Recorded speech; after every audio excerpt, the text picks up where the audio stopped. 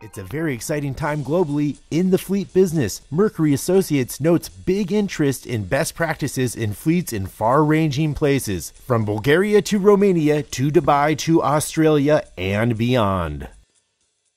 Um, it's a really exciting time globally, and uh, there is um, a lot of interest, particularly in Eastern Europe, in understanding uh, the way that we're training uh, fleet managers and uh, organizations that provide services to fleet managers uh, on uh, best practices and uh, master fleet management programs.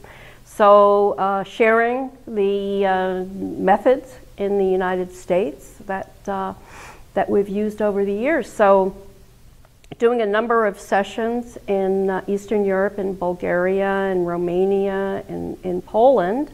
Uh, we also have some uh, sessions set up in Dubai for this year, so it's very, very exciting.